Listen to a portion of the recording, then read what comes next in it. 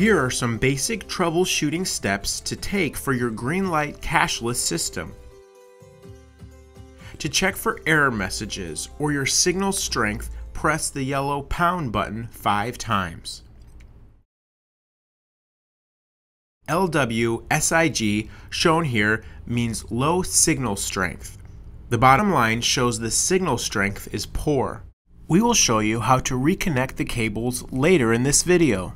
Please use cash indicates there is something wrong with your card reader setup. Press the yellow pound key five times. The MXPRC error message indicates a max price. Your machine is set up by default not to authorize any price above $10. You can either lower the price below $10 or you will need to contact customer support to increase the price limit. A reminder, if you are in service mode, the Greenlite screen will read please use cash. You cannot buy anything while in service mode. If you cannot diagnose the issue on your card reader, go to the orange Greenlite telemetry box inside your machine. The different lights can alert you to any problems.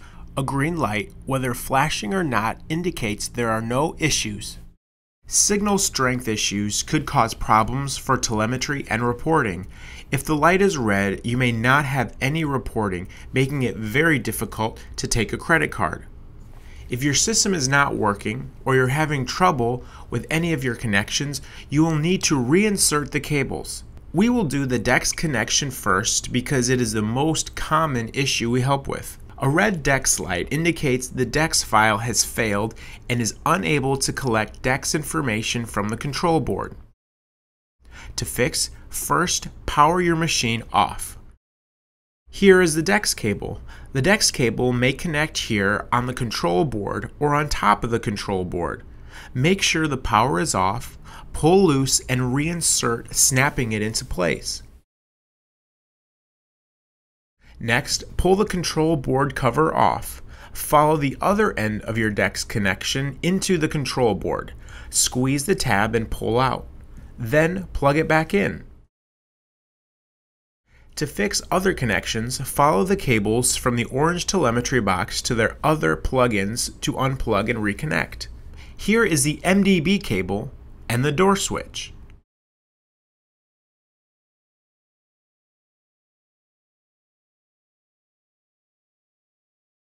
Reset each connector on the orange telemetry box.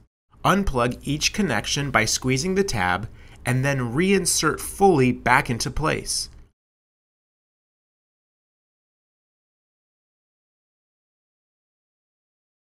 Then loosen the antenna connection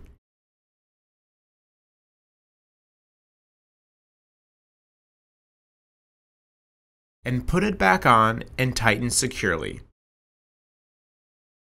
After reconnecting the cables you're troubleshooting, power the machine back on to see if the system is working.